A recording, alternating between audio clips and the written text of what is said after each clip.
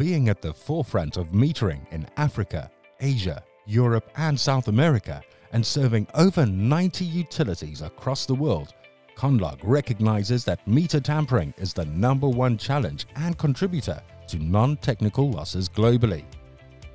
CryptoVault, another proud innovation from Conlog, combats fraudsters and tampering.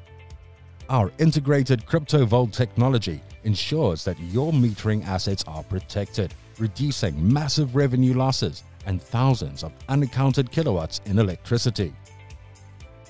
The metering device is considered to be a cash register used in harsh conditions.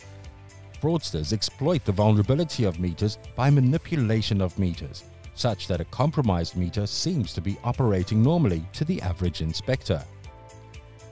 This is commonly achieved by either cloning or bypassing the meter to obtain free electricity.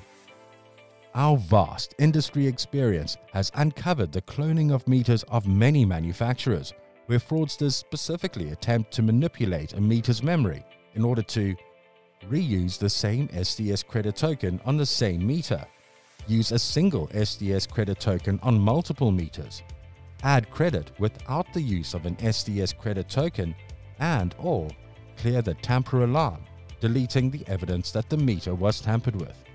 CryptoVault encompasses a multitude of security algorithms and techniques with built-in redundancies to ensure that any attempts to access or manipulate a meter's memory will trigger an instant lockdown state, only recoverable by utility intervention.